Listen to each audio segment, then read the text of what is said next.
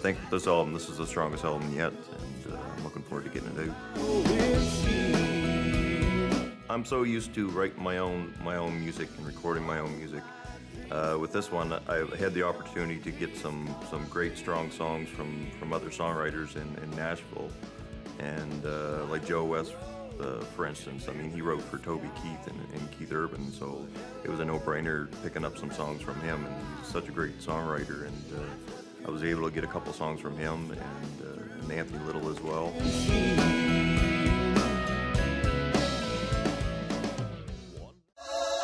She's a whole lot of honey, sweet as a dew on a uh, With the video, we're kind of trying to keep it keep it simple, but yet uh, show kind of my uh, um, my lighter side, so to speak. Uh, try to keep it funny.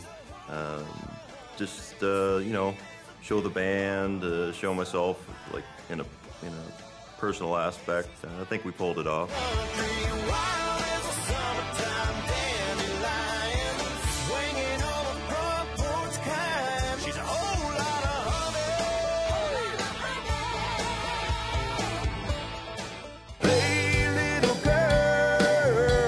Kiss Me Like That is um, it's just a song. It's a song I wrote, and guess the whole the whole story behind it is uh, it's just about a couple, high school sweethearts so, sort of thing, and you know they, they stay together and they uh, you know, they get married, they have kids, and it's just about love in general. And they stay together, and their love is so strong, and they stay together for for so many years, and uh, just a song about true love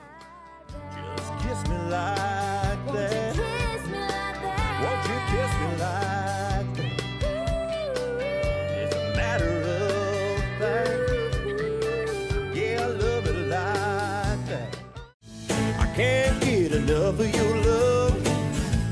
I can't get enough of your love. No, I can't get enough of your love. Management brought this song to me and uh, said we should do a remake of the song. Don't you hang me up you know, it's a fantastic song, and I, I, do love the song, but I was a little leery about doing a remake, but um, as time went on, I kept listening and listening to do it. I said, yeah, let's, let's give it a shot. And I'm glad we did, because once we got in the studio and started recording this thing, I mean, this, this thing rocks, so I'm, I'm very happy we chose to do it. We didn't stray too far from the original, uh, but with the acoustic aspect of it, I think it brings a whole new dynamic to it.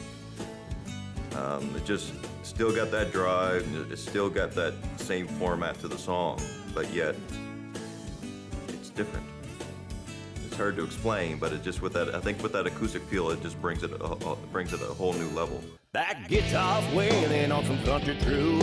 It's pouring out the speakers at a hundred proof. Tailgates and tank tops shaking, Raptors quaking. Ain't no mistaking what we came to do.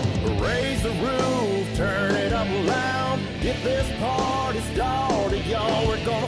Uh, well, I believe that uh, man, my management uh, was contacted by by Joe West, and uh, he had some songs available that uh, he wanted to present to me, and uh, took to listen to the songs. He, he sent along, you know, good five or six songs that were good, strong songs.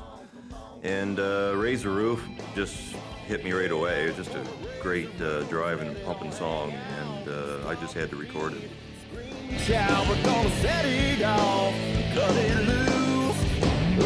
Uh, the video, the song itself uh, is, is kind of fast-paced upbeat driving, so we kind of wanted to keep the video the same aspect. And uh, I think with all the scenes of the fast-paced traffic and, and the, the, big buildings, and, and know, I think it, we got brought that across with it.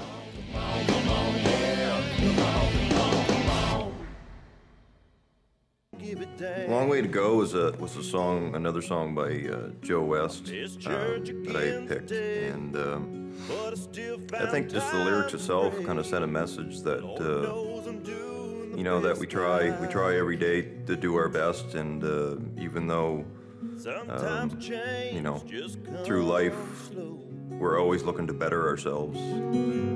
Jesus loves me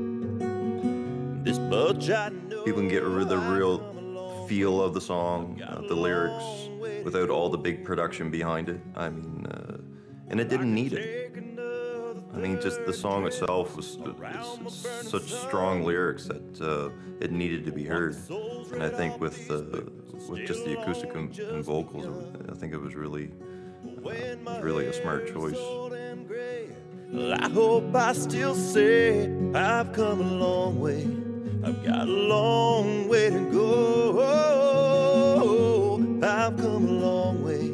I've got a long way to go.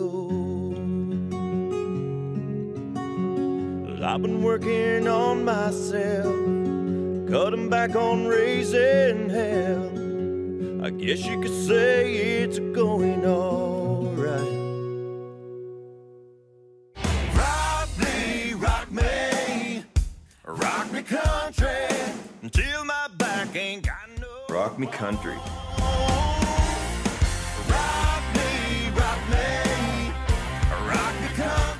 Man, this is just a rockin' rockin' country tune.